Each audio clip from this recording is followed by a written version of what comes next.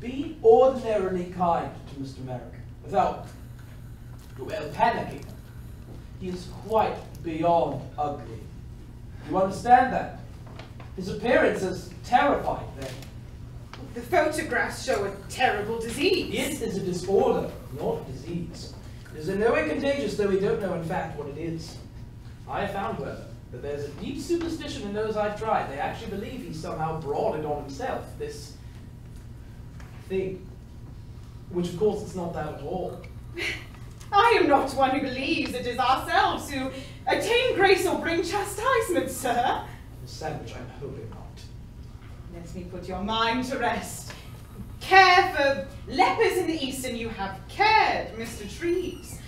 In Africa, I've seen dreadful scourges quite unknown to our more civilized climes. What at home could be worse than a miserable and afflicted rotting I imagine. Appearances do not daunt me. It really is better send me outside the confines of London seeking help.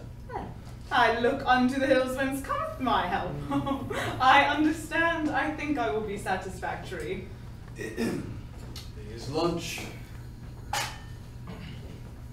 Perhaps you'd be so kind as to accompany me this time. I shall introduce you. Well, allow me to carry the tray. Oh, I will this time. You are ready? I am. He is bathing to be rid of this odor. John, this is Miss Sandwich. She is. I.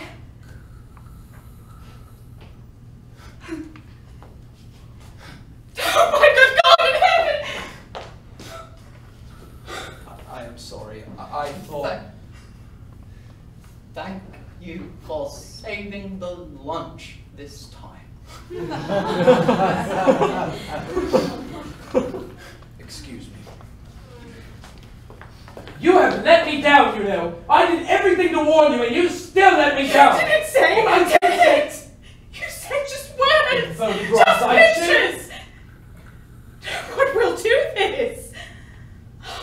I am sorry. Well, this is not helping him.